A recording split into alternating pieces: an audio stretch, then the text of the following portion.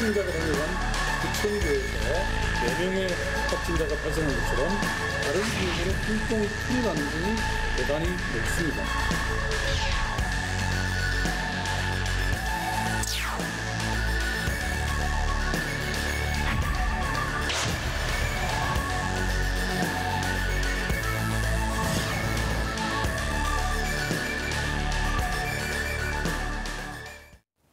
네, 시청자 여러분 안녕하십니까? 국내에서 코로나19 첫 확진자가 발생한 이후 어제 처음으로 완치자가 신규 확진자 수를 넘어섰습니다.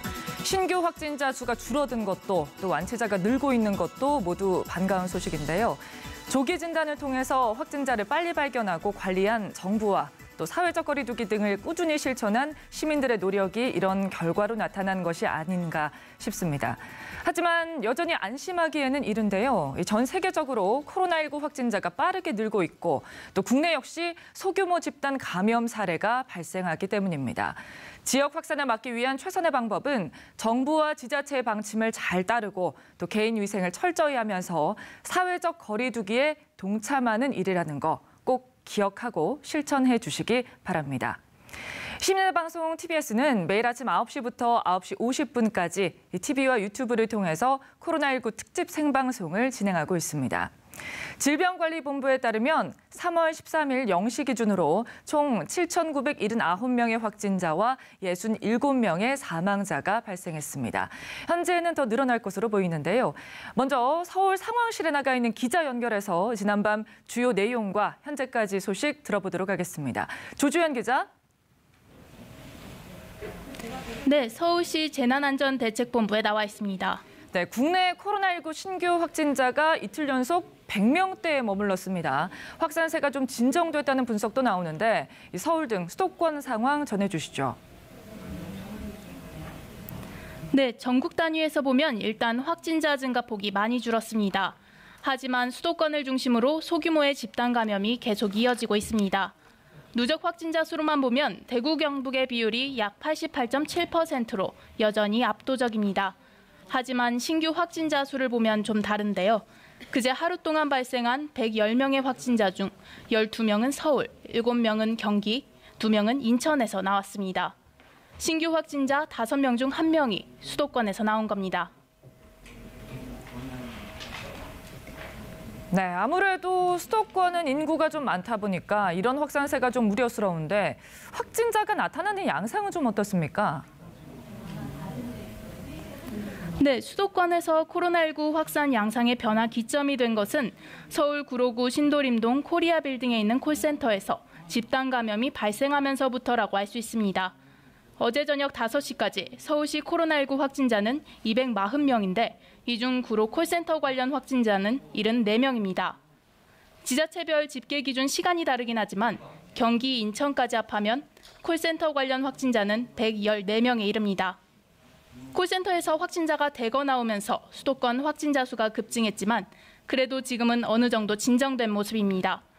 콜센터가 있는 건물의 직원과 주민에 대한 진단검사는 마무리 단계고 박원순 서울시장도 콜센터와 관련해 큰 불은 잡아가고 있다고 판단했습니다. 하지만 안심하긴 이릅니다. 어제 경기도 부천시의 한 교회에서 확진자 3명이 추가로 발생했습니다. 이 교회는 확진된 콜센터 직원이 예배를 받던 교회인데요. 앞서 이 직원과 같이 예배를 받다가 감염된 이 교회 목사와 교인 등 4명을 합하면 이 교회에서 총 7명이 2차 감염된 겁니다. 또 확진된 교회 교인 중 한 명은 부천 하나요양병원에서 일하는 요양보호사로 확인돼 병원 두 개 층에 대한 코호트 격리 조치가 내려졌습니다. 이 사례에서 볼 수 있듯이 이젠 확진자들의 가족, 지인 등 2차, 3차 감염 여부를 파악하는 것이 중요해졌습니다. 이에 더해 서울시는 지난달 21일부터 최근까지 이 건물을 방문했던 사람들 파악에도 나선다는 방침입니다. 네. 어, 앞서 은평 성모병원이나 성동구 주상복합 아파트에서도 10명 이상이 집단 감염이 됐죠. 구로구 콜센터의 경우에는 그 규모나 범위가 훨씬 더 커서 걱정이 됩니다. 서울에 우려가 되는 집단 감염 사례가 또 있을까요?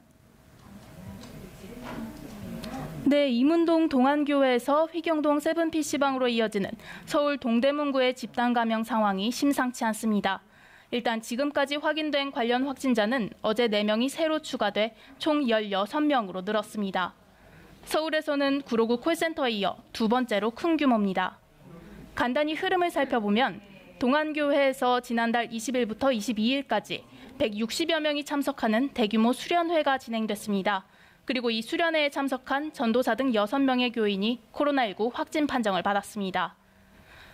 문제는 방역 당국이 지난 8일이 되어서야 대규모의 교회 수련회가 있었다는 것을 알고 조사를 시작했다는 점인데요. 그 보름 정도 되는 기간 동안 감염된 교인들은 아무런 관리 없이 불특정 다수와 접촉했습니다. 많은 접촉점이 있었을 것으로 추정되는데 동안교회 교인 중 한 명이 머물렀던 세븐 PC방이 확산의 거점이 됐습니다. PC방에 갔던 사람들 가운데 확진자가 하나둘씩 나오기 시작했고 지역사회 집단 감염의 양상으로 흐르게 된 겁니다. 네. 어, 콜센터나 PC방이나 모두 한 공간에 많은 사람이 나란히 앉아 있다 보니까 감염에 취약해 보입니다. 이런 장소에 대해서 서울시는 어떻게 관리하기로 했나요? 네, 일단 서울 시내 콜센터 417곳에 대해서는 긴급 전수조사를 시행하고 운영 지침을 만들었습니다. 이에 따라 서울시가 운영하는 120 다산 콜센터부터 근무 시스템 변경에 들어갔는데요. 이번 주말이 끝나고 다음 주부터는 직원 400여 명 가운데 절반 정도가 재택근무를 하게 됩니다. PC방과 노래방, 클럽 등 많은 사람들이 이용하는 시설들도 집중 관리 지침이 있습니다. 해당 시설들은 감염 관리 책임자를 지정해 매일 직원들의 증세를 확인하고 의심 환자가 발생할 때를 대비해 관할 보건소와의 비상 연락망도 구축해야 합니다. 또 직원은 물론 이용객들까지 마스크를 썼는지 점검합니다. 서울시는 이러한 지침을 안 지키면 시설 폐쇄도 검토한다는 방침입니다. 지금까지 서울시 재난안전대책본부에서 TBS 조주환입니다. 네, 조주영 기자였습니다. 어, 지금까지 코로나19 확진자 현황과 서울시의 대응책까지 들어봤는데요. 계속해서 대구 상황도 살펴보도록 하겠습니다. 대구에서도 격리 해제 후 코로나19가 재발한 사례가 나와서 방역 당국이 조사를 벌이고 있습니다. 오늘은 또 신천지가 창립 기념일을 맞았습니다. 이로써 코로나19 재확산 우려가 불거지고 있는데요. 대구시 재난안전대책본부 연결해서 자세한 얘기 들어보겠습니다. 김종민 기자. 네, 대구시청입니다. 격리해제들이 재발한 사례가 대구에서도 보고됐습니다. 대구시는 어제 이런 사실을 공개하면서 아직은 더 지켜봐야 할 문제라고 밝혔습니다. 그러면서 확진자 가운데 3, 4주가량 바이러스 수가 줄지 않는 사람이 있다며 모든 게 연구 대상이고 알아가는 단계라고 설명했습니다. 다만 재발 환자의 신원은 밝히지 않았습니다. 지난달 경기 시흥에서도 70대 확진자가 완치 후 엿새 만에 재확진 판정을 받았습니다. 당시 의료진은 재감염이 아닌 바이러스가 재활성화된 것으로 보인다는 의견을 내놨습니다.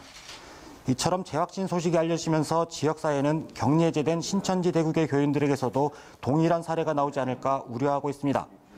그제 영시를 기해 대구 신천지 교인 5,600여 명이 자가격리에서 해제돼 활동을 재개한 상황입니다. 신천지는 공식 행사는 없다고 밝혔지만 오늘이 신천지 창립 기념일이어서 재확산 우려가 더욱 커지고 있습니다. 대구 시민들이 몰래 집회나 모임을 가능성이 있다고 보고 경찰과 감시망을 가동하고 있습니다. 또한 집회나 모임을 금지한 행정명령을 어길 경우 법에 따라 엄벌하겠다고 경고했습니다.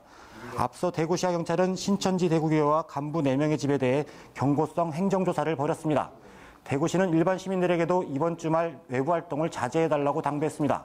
지금까지 대구시청에서 전해드렸습니다. 네. 여전히 안심할 수 없는 상황인 것 같습니다. 대구 브리핑룸의 김종민 기자 소식 함께 들어봤습니다.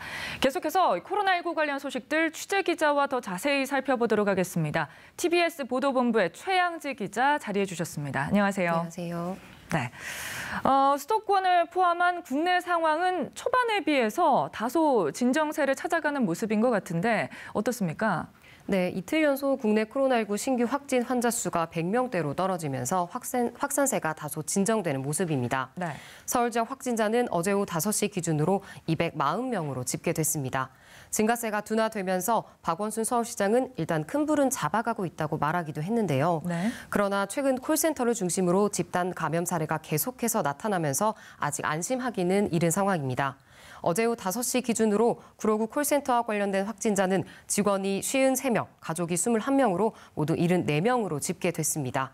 서울 시내 확진자를 주요 발생 원인별로 보면 이처럼 구로구 콜센터 관련이 가장 많은 상황입니다. 그렇군요.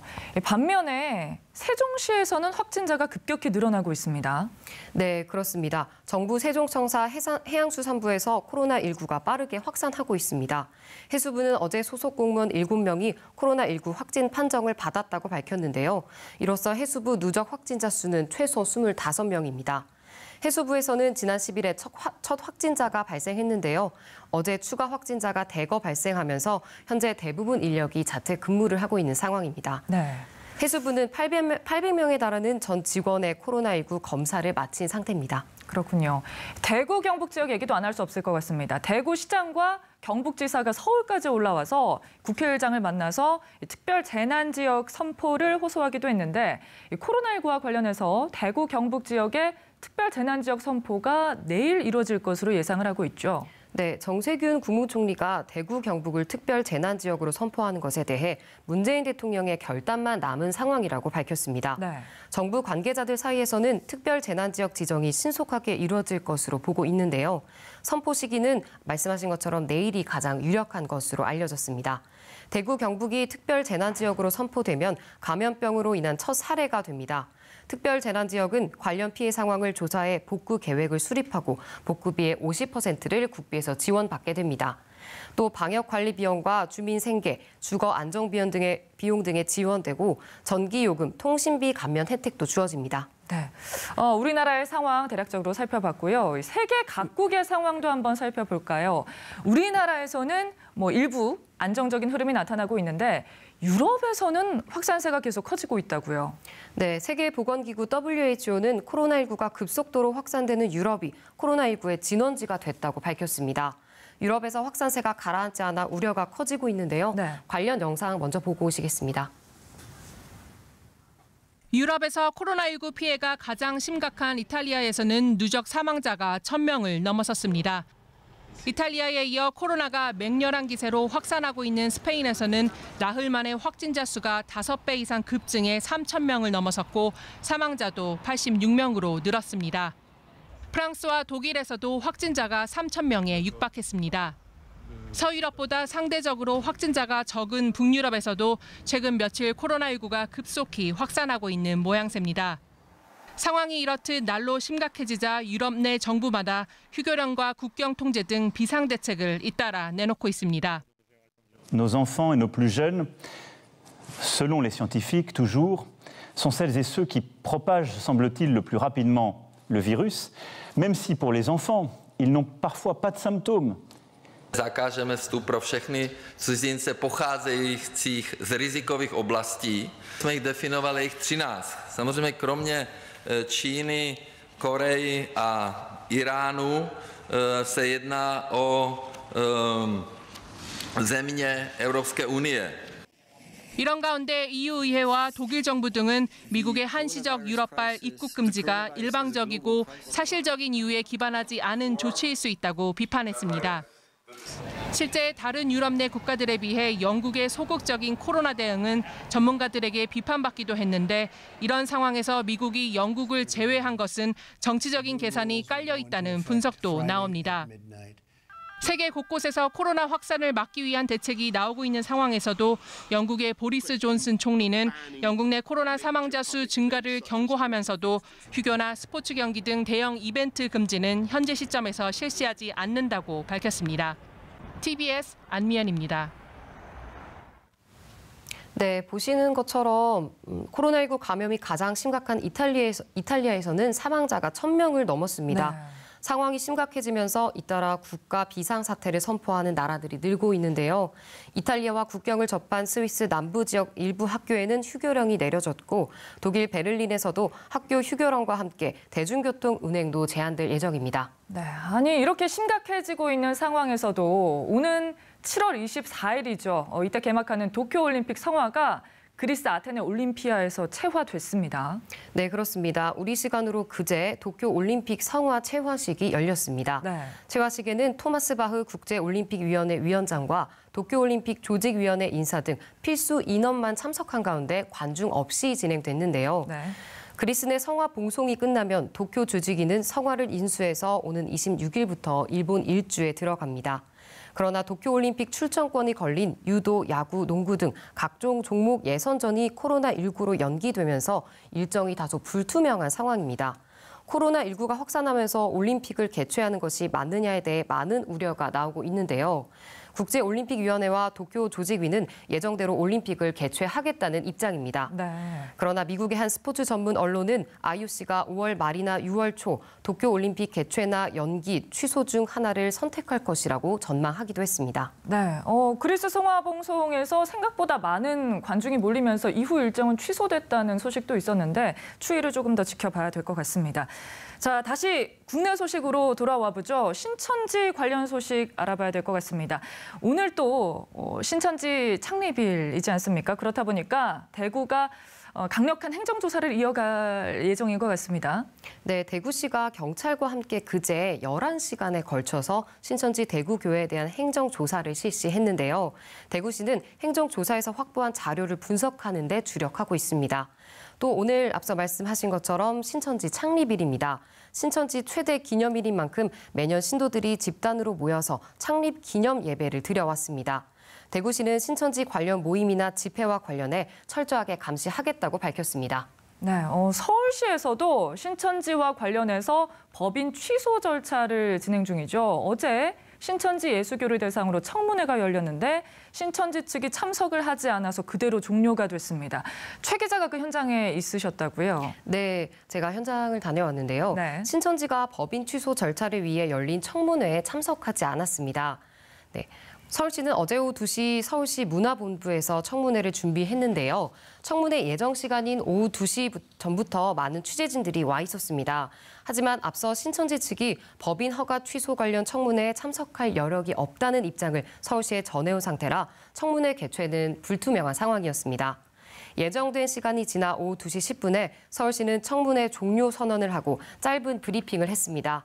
이 자리에서 서울시는 청문회 개최 여부와 관계없이 신천지 설립을 신천지 설립 취소를 진행하겠다는 입장을 밝혔습니다. 네. 서울시 문화정책과 김경탁 과장은 기자들과의 인터뷰에서 그동안 파악한 자료와 정보를 토대로 내부 검토를 거쳐서 늦어도 이달 안에 신천지 법인 취소 여부를 최종 결정할 것이라고 말했습니다. 네, 어, 코로나19와 관련해서 자세한 소식 감사합니다. 지금까지 TBS 보도본부의 최양지 기자와 함께했습니다. 고맙습니다. 감사합니다.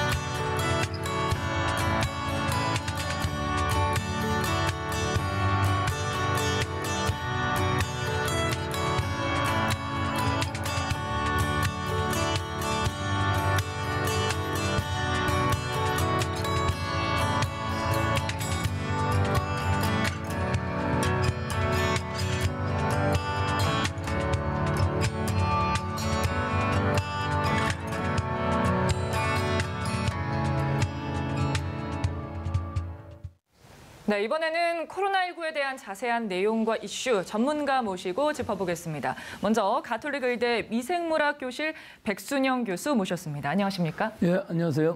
네. 어, 그리고 강양구 과학 전문 기자 나와주셨습니다. 안녕하세요. 네, 안녕하십니까?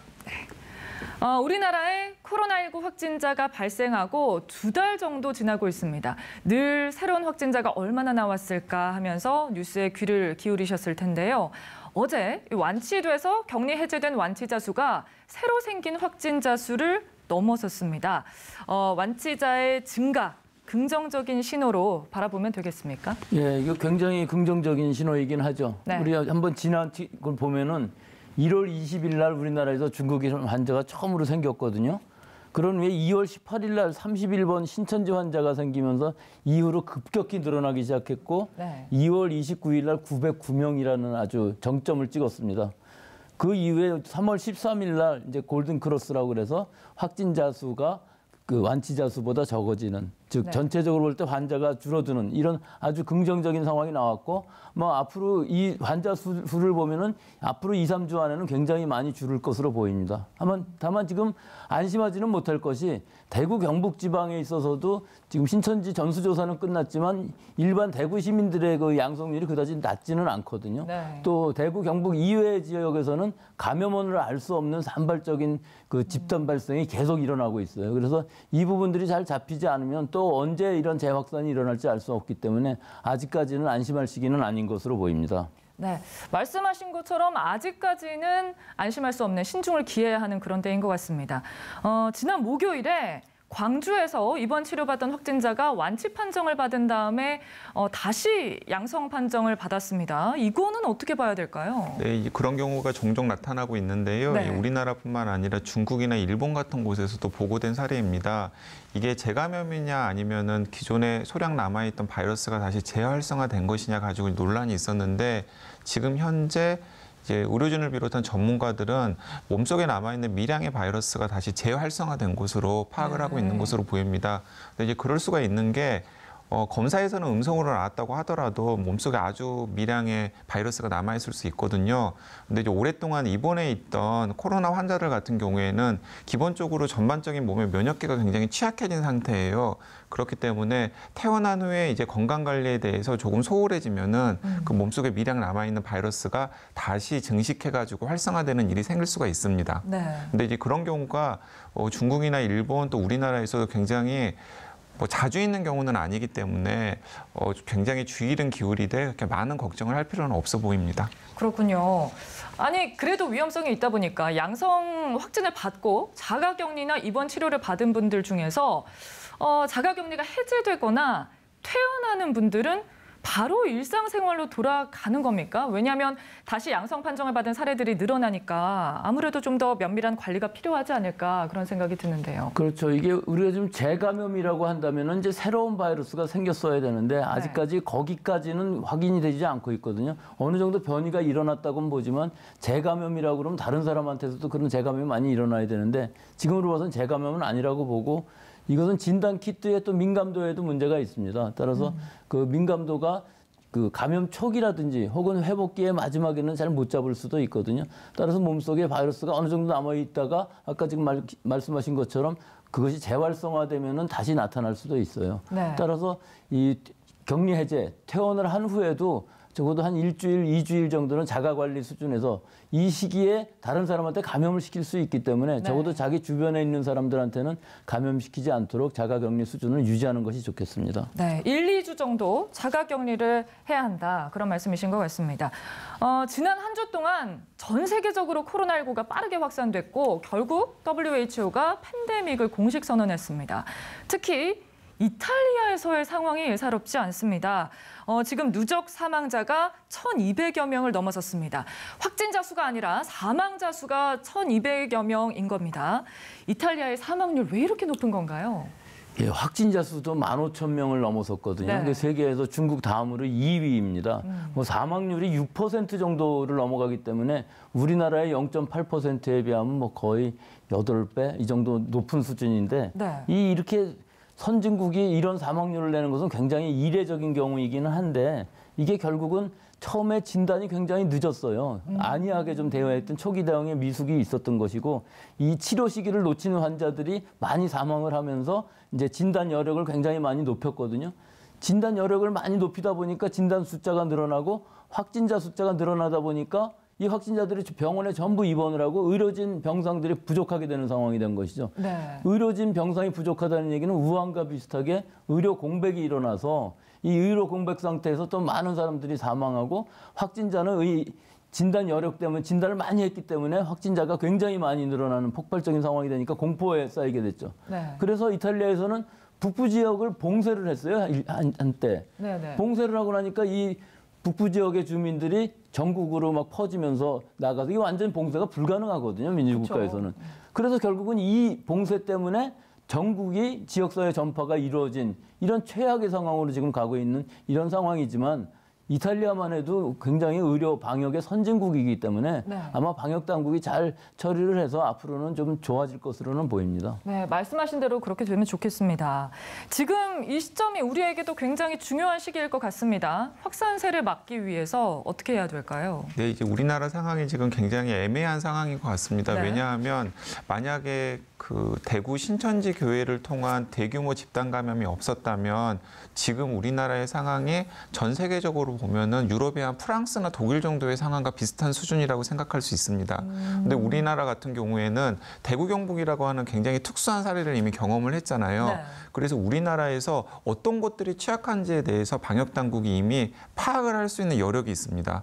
예를 들어서 대구 경북의 사례들을 보면은 일단 교회에서 집단 감염이 있었고 그리고 장애인이나 노인들 요양시설에서 집단 감염이 있었고 또 PC방이라든가 콜센터 같은 경우에도 서울시 구로에서도 집단 감염이 있었지만 이미 대구에서도 콜센터 집단 감염이 있었거든요. 네. 그래서 대구에서 집단 감염이 일어난 사례들을 면밀하게 검토를 하면은 어, 서울 수도권이나 혹은 다른 지역에서 어떤 곳들이 취약한지를 저희가 이미 스크리닝을 할 수가 있습니다. 그렇다면은 지금 이 시점에서 서울이나 수도권 혹은 다른 지자체들을 중심으로 방역 당국과 함께 어떤 곳들이 취약한지를 확인한 다음에 취약한도를 대상으로 먼저 검사를 해보거나 혹은 필요한 것들을 보완하거나 이런 것들을 할 수 있을 것 같고요. 그리고 이제 지금에서야 이제 유럽이라든가 미국 같은 경우에는 사회적 거리두기에 대한 이야기가 나오고 있거든요. 어, 예, 그래서 뭐 프랑스 같은 경우에는 몇 명 이상의 집회를 금지하고 그리고 독일이나 미국에서도 휴교령이라든가 이런 것들이 나오고 있습니다. 근데 우리는 이미 그런 것들을 그쵸. 진행하고 있는 상황이잖아요. 그래서 지금 다른 나라에 비해서 굉장히 이 대구 경북의 사례를 염두에 두고서 선제적으로 여러 가지 조치들이 이루어지고 있는 상황이에요. 그래서 지금 이런 상황들을 계속해서 잘 밀어붙인다면 다른 나라보다도 오히려 좀 더 효과적으로 방역을 할 수 있는 가능성들이 생기지 않을까 하는 전망을 해봅니다. 하지만 여전히 이제 아까 백 교수님께서 말씀하신 대로 대구 경북의 상황이 좀 잡혀가고 있더라도 콜센터 사례에서 볼 수 있듯이 서울 수도권 등에서 이제 또 다른 크고 작은 집단 감염 사례들이 계속 나올 수 있고 자칫하면 그것이 이제 굉장히 큰 감염 사례로 이어질 수 있는 상황은 여전히 이제 있는 것이거든요. 네. 그래서 조금 조마조마하면서 이제 계속 계속해서 하나씩 하나씩 좀이 방역 체계를 만들어가야 되지 않을까 하는 생각이 들고 시민들도 좀 적극적으로 동참을 하셔야 될 것 같습니다. 네. 예, 제가 한 말씀만 좀 보태자면은 지금 일본의 그 이상한 논리를 하나 개발해서 우리를 좀 비난하고 있거든요. 네. 우리처럼 이렇게 진단을 많이 하면은 의료 공백이 생겨서 결국은 사망자가 많이 나온다. 이런 논리를 개발해서 일본은 자기네들이 지금 잘하고 있다. 이런 식으로 얘기를 하고 손정희 회장이 100만 건 한 것 준다고 그랬어도 그것도 싫다고 일반 국민들 정서가 그랬거든요. 네. 근데 사실은 그게 아닌 게 우리나라는 지금 빨리 진단을 하고 빨리 격리를 함으로 해서 사망률을 굉장히 많이 낮추고 있어요. 네. 그래서 절대로 일, 일본 같은 그런 논리가 성립하지 않는다는 것을 꼭 좀 말씀드리고 싶습니다. 그렇죠. 그, 어, 잘 대처하고 있는 편이다. 뭐 예, 이렇게. 예. 정리를 하면 될 것 같습니다. 어, 자, 정부와 지자체 그리고 의료진뿐 아니라 자영업자, 회사원 등 우리 모두가 각자의 자리에서 최선을 다하고 일상을 유지하는 그런 자세가 필요하지 않을까 싶습니다. 어, 지난 한 주 동안 공적 마스크 판매가 실시됐습니다. 오브제에 대한 이해가 부족하거나 판매처마다 입고 시간이 다르기 때문에 아마 헛걸음하는 분들도 있는 것 같습니다. 이렇게 마스크가 없어서 발을 동동 구르는 분들이 계시지만 또 한편에서는 마스크 생산을 맞추기 위해서 애쓰는 분들도 계십니다. 밤낮 없이 마스크 생산을 하고 계시다는 마스크 생산 공장의 유영호 대표와 화상 연결 통해서 얘기 나눠보겠습니다. 대표님 안녕하세요.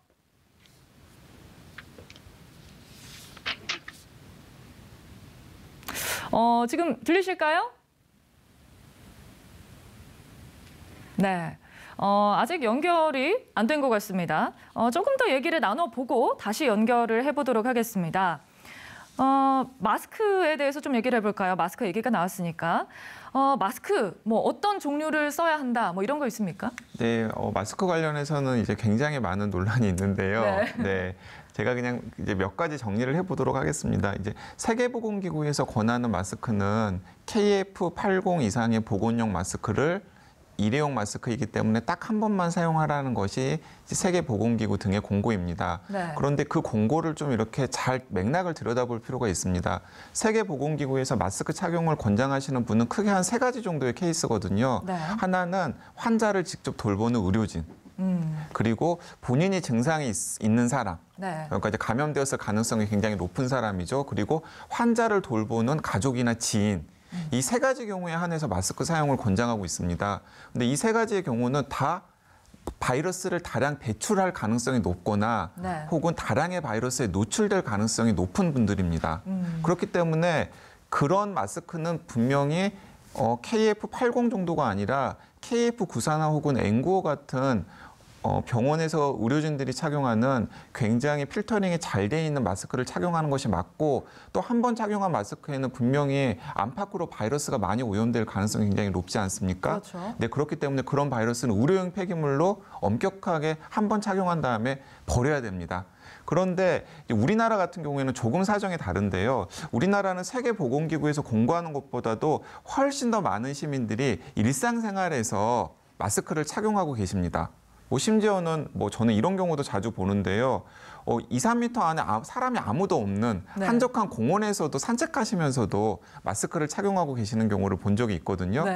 그러니까 그런 경우라면은 사실 본인이 바이러, 본인의 증상이 없다면 음. 본인이 바이러스를 배출할 가능성도 없고 또 주변의 사람들이 없거나 드물기 때문에 다른 사람으로부터 바이러스가 올 가능성도 없잖아요. 이제 그런 경우에는 어, 굳이 KF80 이상의 보건용 마스크가 아니라 일회용 부직포 마스크나 면 마스크를 착용하는 것만으로도 충분히 일상생활에서 바이러스를 차단하는 효과가 있을 수 있다라고 생각을 하고요. 실제로 과학적으로도 검증을 해봤어요. 두 가지 경우인데 이면 마스크 안에다가 이제 정전기 필터를 넣으면은 실험을 해보면 KF80과 거의 비슷한 수준의 필터링 효과가 있습니다. 네네. 그러니까 그건 사실 KF80 마스크를 낀 것과 똑같은 효과고요.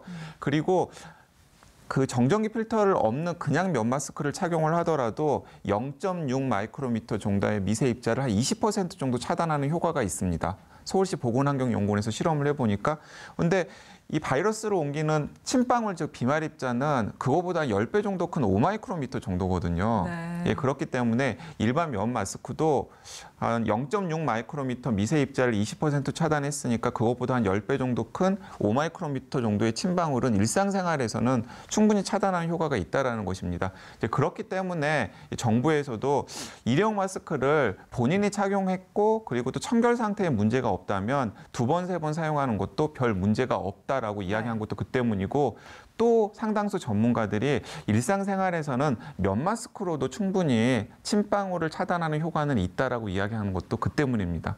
그러니까 어제도 그 국립암센터의 김호랑 교수님과 마스크 관련해서 이야기를 나누는데 김호랑 교수님께서는 오히려 자기는 어, 일회용 마스크를 두 번, 세 번 사용하는 것보다는 그냥 면 마스크를 좀 하루에 조물조물 빨아가지고 어, 네, 청결 네. 유지하면서 사용하는 것이 오히려 더 나을 수도 있겠다라는 생각도 든다라는 말씀도 하시더라고요. 왜냐하면 또 면 마스크 같은 경우는 호흡이 편하기 때문에 자주 마스크에 손을 댈 가능성도 좀 적어지거든요. 음, 네, 이런 식으로 정리하시면 될 것 같습니다. 네. 예, 지금 말씀하신 거에 한 가지만 좀 보태자면 네네. 면 마스크를 권장하는 이유가 한 가지 더 있는데요. 이 젊은 사람들은 취약계층한테 그 보건 마스크는 다 양보하시고 맞습니다. 또 실제로는 이 젊은 사람들은 무증상 감염일 가능성이 굉장히 많이 있어요. 자기도 모르는 사이에 증상은 없지만 이 무증상 감염이 노령 환자한테 노령인한테 갔을 때는 굉장히 그 아주 치명적일 수가 있거든요. 따라서 사람들하고 만날 때는 젊은 사람들은 가능한 한 면 마스크를 쓰고서 만나면은 그런 위험이 다 없어지기 때문에 권장하고 싶습니다. 거기다 면 마스크는 또 패션템으로도 많이 네. 사용하잖아요. 네, 그렇기 그렇습니다. 때문에. 네. 네, 의료용 마스크가 없다고 너무 크게 걱정을 할 필요는 없을 것 같습니다. 자, 마스크 생산 공장 유영호 대표 다시 한번 연결을 해보겠습니다. 대표님 들리십니까?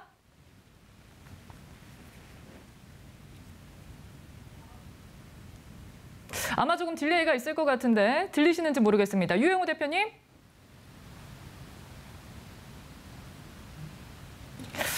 아, 시청자 여러분들의 양해 부탁드리겠습니다. 연결 상태가 매끄럽지 못한 것 같습니다. 어, 저희끼리 한 번 더 얘기를 나눠보도록 하겠습니다. 어, 마스크 얘기를 해주셨고, 자, 이어서 신천지 얘기해봐야 될 것 같아요. 오늘이 신천지 교회 창립일이라고 합니다.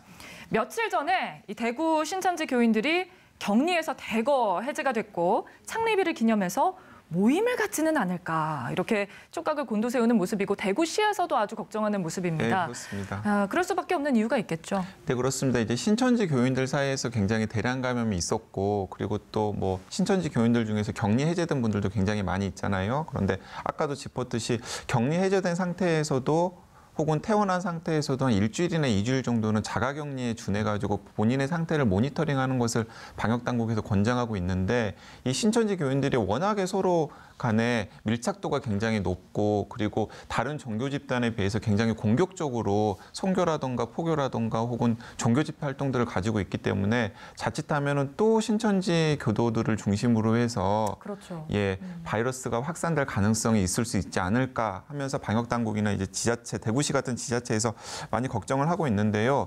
어, 일단은 뭐 신천지 교단 차원에서 방역 당국에 적극적으로 협조를 하겠다라고 여러 차례 공언을 했기 때문에 그 공언한 상태를 이제 믿을 수밖에 없겠습니다만은 어느 정도는 행정 지도 같은 것들이나 행정 감시 같은 것들은 불가피해 보입니다. 네.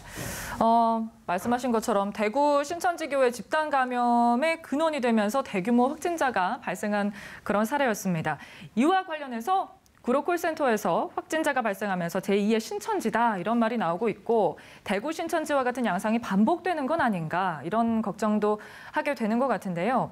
교수님께서 보시기에는 대구 신천지와 구로 콜센터 상황 어떻습니까? 예, 상당히 비슷한 점이 우선 있었습니다. 이 구로 콜센터는 한 층에서 203명이나 되는 사람들이 같이 근무를 하면서 상당히 많은 사- 확진자들, 즉 80명의 확진자가 나왔거든요. 네. 또이 감염원을 잘 알 수가 없었기 때문에 약 2주일 동안을 지역사회 전파를 일으켰어요. 즉 대중교통을 이용한다든지 뭐 자기 밀접 접촉하는 사람들이 많아갖고 굉장히 우려가 많이 됐었는데 이 신천지 때 대구의 신천지 때와 지금이 시간적으로 많이 다르고 상당히 많은 차이점이 있습니다. 네. 우선 그 신천지 그때는 장기간에 걸쳐서 많은 사람들이 증상이 나타나면서도 계속 노출을 했고 그랬죠. 전혀 방비가 없었거든요. 네네. 뭐 마스크를 쓰고 다니는 사람들도 그다지 없었습니다. 네. 하지만 지금 이 상황은 그 한 층에 있는 사람들은 많이 걸렸지만 그 외의 층에서는 9층, 10층 한 명씩 있었고 9층의 환자는 아마 접점이 있었던 것 같아요. 11층에 콜센터 직원하고 어떤 연결이 만남이 있었다고 그러는데 네. 10층인 경우는 지금 좀 애매합니다. 역학적으로. 하지만 전체 입주민들 중에서는 아직도 한 명도 양성이 나오지 않았고 네. 또이 대중교통은 뭐 그다지 그렇게 높아 보이지는 않는 것이 모든 사람들이 지금 다 마스크를 하고 있고 또 실제로 이 직원들도 밖으로 나갈 땐 다 마스크를 하고 있었다고 해요. 그래서 결론적으로 말씀드리자면 지금은 이 직접 밀접한 접촉을 가지신 분들을 아주 촘촘하게 세밀하게 찾아내면은 지금 이 상황은 많이 잡을 수 있지 않을까. 따라서 네. 대구 신천지와는 상당히 많은 차이점이 있고 뭐 물론 걱정은 되시겠습니다만은 네. 이 대중교통 안에서 혹은 그냥 간단한 접촉 같은 것들은 지금 이 역사라든지 버스라든지 전동차를 완전하게 매일 소독을 하고 있기 때문에 네. 상황은 많이 다른 부분이 있는 것은 확실합니다. 네. 그 대중교통- 잠시 후에 네, 네. 이 얘기는 조금 더 나눠보도록 네, 네. 하고요. 앞서 저희가 마스크 생산 공장 대표님 연결을 했는데 연결이 안 돼서 화상 연결 말고 전화 연결을 해봐야 될 것 같습니다. 어, 마스크 생산 공장 유영호 대표님 안녕하십니까? 아, 네, 안녕하세요. 네, 연결이 안 돼서 당황 많이 하셨죠. 아, 네, 무척 당황했습니다. 네, 어, 현재 마스크 생산 라인 현황이 어떻습니까? 아, 현재 마스크 현황은 여러 가지로 어려운 상황에서 마스크를 제조하고 있습니다. 네. 그렇죠. 24시간 네. 풀가동한다는 어, 얘기를 들었는데 맞습니까? 네, 20, 어, 24시간 풀 가동은 하는데 기계가 11대가 있습니다. 근데 두 대 라인만 가동을 하고 있습니다. 아, 그렇군요. 작업 인원도 좀 부족하지 않을까 싶은데 어떻게 충원을 하고 계신가요? 예, 그 작업 인원은 그 국가에서 군, 검, 경찰, 그리고 국세청, 부산지방청, 사경찰서, 시役처 직원들이 매일 함께 출근해서 네. 어떻게 하면은 국민들에게 네. 한 개의 마스크라도 더 공급할 수 있을까 연구하고 같이 고민하고 있- 있고 네. 또 의용 소방대에서 와서 또 어, 지원 사격을 해주고 있습니다. 네, 아, 많은 분들이 도와주고 계시군요. 그런데 네, 이 네. 마스크 생산 작업을 한 아르바이트생이 마스크를 맨손으로 만지거나 볼에 비비는 모습 이런 것들이 SNS를 통해서 알려지면서 많은 분들이 생산 과정의 위생 부분에 대한 걱정을 하고 있습니다. 이 부분에 대해서는 어떻게 관리가 되고 있습니까? 예, 그거는 대부분의 마스크 공장에서는 그런 일이 없습니다. 아, 그래요. 네, 위생 관리가 대부분의 그 마스크 공장에서는 위생 관리가 매우 철저히 하고 있고 네.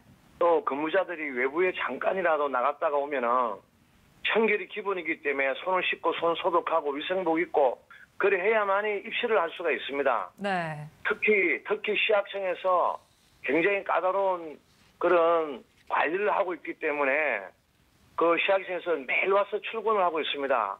음. 그분들이 보는 눈이 있는데 어째 네. 그런 일은 거의 일어날 수가 없는 일인데 일어난 겁니다. 음, 위생에 대해서는 어, 믿으셔도 된다 이런 말씀이신 것 같고요. 어, 실제 마스크의 필수적인 필터가 부족해서 생산하지 못하는 공장까지 나오고 있다고 하던데 대표님은 어떤 상황이신가요? 네, 맞습니다. 국내 거래처와 중국 거래처가 있습니다. 네, 근데 중국의 원자재가 한국으로 들어오는 길이 이전에는 원천 봉쇄당했고 네, 또 국내 원자재 그 멜트 브라운 그 필터 역할을 하는 그 회사에서는 단 한 개의 마스크 자재도 공급을 받지 못하고 있는 실정입니다. 어, 네, 네.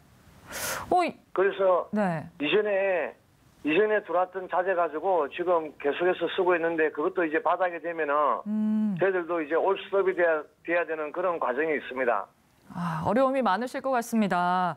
어, 곧 정부에서는요 마스크 필터 부직포 출고 조정 명령에 들어갔습니다. 이게 현장에 좀 도움이 될 거라고 보십니까? 아직 우리 네오메드에서는 단 한 번의 도움도 받지 못했습니다. 네. 아, 그렇군요. 어, 24시간 근무를 하고 있다고 아까 말씀을 하셨는데 직원들도 3교대 근무하고 있고 생산 라인은 24시간 쉬지 않고 돌아가고 있고 아, 어려움이 많으실 것 같은데 대표님께서도 24시간 신경 많이 쓰고 계실 것 같습니다. 예, 네오메드 대표인 저와 모든 직원들이 24시간 풀 가동하여 네. 국민들에게 단 한 개의 마스크라도 공급하기 위해서 눈이 퉁퉁 붓도록 근무하고 있습니다. 네. 그리고 대표인 저는 밤에 잠을 자다가도 벌떡 일어나서 목류병 환자처럼 자동적으로 회사로 걸어가고 있습니다. 네. 아, 수고 많으십니다. 감사하다는 말씀 어, 제가 대신해서 전해드리고 싶고요. 마지막으로 또 하고 싶으신 말씀이 있으실까요? 네, 국민 여러분 두려워하지 마십시오. 보건용 마스크 제조하는 네오메드가 있습니다.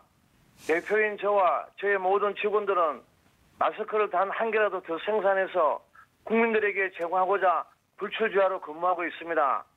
지금 네오메드는 우리 모든 직원들은 뜨거운 용광로에라도 뛰어들 정도의 몸과 마음을 중무장되어 있습니다.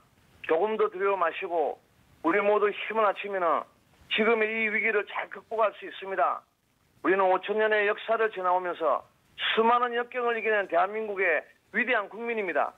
이 위기를 잘 극복해서 저력과 민족성이 있는 대한민국 국민인 것을 전 세계에 알려줄 수, 줄수 있습니다. 감사합니다. 네, 감사합니다. 바쁘신 중에도 시간을 내주셨습니다. 지금까지 네오메드 마스크 유영호 대표와 함께 얘기를 나눠봤습니다. 어, 앞서서 백순영 교수님과 대구 신천지와 구로 콜센터 상황은 그래도 좀 다르다 어, 이런 얘기를 나눠봤는데요. 서울시에서는 구로구 콜센터를 감염병 특별 지원 구역으로 지정을 했습니다. 감염병 특별 지원 구역으로 지정됐다. 이것은 어떤 의미를 갖고 있습니까? 뭐그 지금까지 유례가 없었기 때문에 그것이 선언적 의미가 있고 네. 실제로 인적 물적 자원을 총 집중해서 초기에 이 문제를 해결하기 위한 이런 선언적 의미가 있고 실제로 지금 잘 잡히고 있는 것으로 보아서 아마 크게까지 번지지는 않을 것 같지만 아직도 예단은 불가능한 것이 여러 밀접 접촉자들이 또 2차, 3차 감염이 일어날 수 있는 부분이 있어서 네. 이런 부분들을 아주 세밀하게 잘 찾아내야 할 것 같습니다. 음, 구로 콜센터에서 확진자가 발생을 하면서 사실 PC방이나 노래방 같은 곳에서도 이 소규모 집단에서도 어, 확진자가 나왔습니다. 이 때문에 어, 소규모 집단에 대한 방역 관리도 필요하겠죠. 네, 맞습니다. 이 고위험 사업장이라면 이제 환기가 힘든 밀폐된 사업장에 굉장히 많은 사람들이 모여 있고 그 많은 사람들이 뭐 콜센터라던가 뭐 노래방 같이 노래나 함성이나 구호나 대화 같은 것들을 지속적으로 하면서 이 바이러스에 오염된 침방울이 많이 튀기는 상황의 사업장을 이제 고위험 사업장이라고 분류를 하고 있는데요. 거기 몇 가지 지침도 내놓았습니다. 뭐 1회, 2회 이상 증상 여부를 확인하고 이용자나 방문객의 체온도 측정을 하고 그리고 사업장의 직원들 간의 간격도 1m 이상으로 넓히고 또 네. 식사 시에 일정한 거리를 두는 여러 가지 방법들을 지금 내놓고 있는데요. 그 이 고위험 사업장에 한 곳을 더 집어넣자면은 PC방 같은 것도 될 수 있을 것 같아요. 근데 PC방 같은 경우는 말은 하지 않잖아요. 그렇죠. 네, 말은 하지 네. 않는데 뭐 말을 하는 분들도 있긴 합니다만은 말을 하지 않은데도 감염이 많은 이유는 무엇이냐면 밀폐된 환경이기도 하지만은 키보드 아. 같은 것을 통한 매개체 감염이 또 있을 수 있거든요. 네네. 그래서 노래방이나 PC방이나 혹은 콜센터 같은 경우에도 매개체 감염의 가능성도 무시하지 못하는 음. 네. 상황입니다. 왜냐하면은 어, 공용이 쓰는 키보드라던가 마이크라던가 전화기라던가 이런 것들이 있고 그런 것들을 통해서 자칫하면 바이러스가 옮겨질 가능성도 충분히 음. 있거든요. 그렇기 때문에 지금 서울시에서 제가 서울시에다도 이런 우려를 전달을 했었는데요. 기존의 이 고위험 사업장에 이 비말 전파의 가능성뿐만 아니라 매개체 전파의 가능성까지도 좀 신경을 써가지고 네. 일상적인 소독이라던가 손 씻기라던가 이런 것들을 좀 더 강조할 필요도 있다라는 말씀 조언도 드렸었는데 네. 그런 부분도 조금 필요해 보입니다. 네, 말씀하신 소규모 다중 이용 시설 어, 시에서뿐만이 아니라 사실 어, 개인적으로도 뭐 위생 수칙 잘 지켜서 사회적 거리 두기를 하셔야 될 것 같습니다. 어, 구로구 콜센터가 위치한 곳이 바로 신도림입니다. 신도림역은 수도권 지하철 중에서도 유동 인구가 가장 많은 역으로 손꼽히는 곳이기도 합니다. 그러다 보니 시민들 입장에서는 대중교통 이용해도 될까 이렇게 걱정하시는 분들 많거든요. 예, 실제로 이 중국의 역학 데이터를 보면요. 대- 네. 대 중교통에서의 감염은 상당히 제한적이었어요. 근데 중국의 경우는 우리랑 많이 다른 것이 아주 굉장히 많이 사회적 전파가 이루어졌고 만연되어 있는 상황이었었는데도 불구하고 네. 실제 대중교통 안에서의 감염은 많지 않았다는 건 뭘 뜻하냐면 이것이 공기 전염은 아니기 때문에 네. 지- 직접적인 어떤 접촉, 아주 가까운 거리에서 장시간 이런 것들이 사실은 우리 만원 버스나 혹은 지하철 안에서 일어날 수는 있어요. 하지만 다들 지금 마스크를 하고 있기 때문에 마스크 쓰고 손 잘 씻고 한다면은 실제 고- 교통기관 안에서의 감염은 그다지 심각하지는 않을 것이라고 생각되는데 다만 한 케이스는 있었습니다. 그 중국에서도 그 히터가 굉장히 강하게 틀어져 있을 때 어떤 확진자로부터 4.5m까지 가서 감염이 됐다는 것은 이건 거의 공기 감염에 비슷한 상황이긴 한데 우리나라에서 이런 상황이 나타날 확률은 굉장히 적고 또 중국만큼 이- 그렇게까지 환자가 많은 상황은 아니기 때문에 지금 과도한 공포는 좀 금물이라고 생각하겠습니다. 네, 그 대중교통 관련해서는 굉장히 많은 시민들이 걱정하시기 때문에 저도 좀 말씀을 덧붙이자면 저는 백 교수님 의견에 100% 동의를 하거든요. 네. 그러니까 이제 이런 경우를 생각하시면 됩니다. 그러니까 중국의 상황은 굉장히 특수한 상황이었던 게 일단은 그 증상이 있는 분이 그 마스크를 안 한 채 두 시간 이상 그 꽉 차 있는 버스에서 히터가 굉장히 가득 틀어 있는 상황에서 타고 있었거든요. 그런데 우리나라 같은 경우에는 일반적으로 신도림역을 오가는 지하철이라던가 혹은 버스 같은 경우에는 만원 지하철이나 만원 버스라고 하더라도 이런 경우를 생각하시면 됩니다. 증상이 있는 감염자가 계속해서 기침을 하는데 그분도 기- 마스크를 안 하고 그 앞에 계시는 분도 마스크를 안 한 채 굉장히 오랫동안 접촉해 있는 상황을 염두에 둬야 되는데 사실 지금 만원 버스나 만원 지하철 안에서도 그런 상황이 재현되는 건 재현될 가능성은 우리나라에서는 굉장히 낮거든요. 네. 그렇기 때문에 이론적 가능성은 있을 수 있지만은 지하철이나 버스, 만원 버스나 만원 지하철에서의 이 전파 가능성에 너무 그렇게 걱정을 안 하셔도 될 것 같습니다. 네, 큰 걱정은 안 하셔도 될 것 같습니다. 자, 마무리 질문 드려볼게요. 코로나19 장기화에 따른 대응 어떻게 해야 하는지 짤막하게만 네, 부탁드립니다. 우리는 지금 오히려 국내 환자가 줄어들면은 역유입할 수 있는 상황이 많이 일어날 수 있거든요. 네. 그래서 어떻게든 이 출입국 관리를 완전히 입국을 뭐 제한한다든가 이런 건 안 하지만 특별 입국 관리를 함으로 해서 우리들이 지금 방역 능력이 온통 이 확진자 찾는 데 들어가 있는데 이 정도 어느 정도 마무리되면은 네. 이 부분의 이- 입국자들을 잘 관리를 하면은 충분히 방역이 될 것이라고 봅니다. 네, 아, 감사드립니다. 지금까지 가톨릭 의대 백순영 교수 그리고 강양구 과학 전문 기자와 말씀 나눴습니다. 감사합니다. 네, 서울시에서는 코로나19 이동식 선별진료소 전문 의료 지원단을 모집하고 있습니다. 자세한 내용 서울시 자원봉사센터로 문의해 주시기 바랍니다. 오늘 준비된 내용 여기까지입니다. TBS 코로나19 특집 생방송은 내일도 계속됩니다. 건강한 하루 보내십시오. 감사합니다.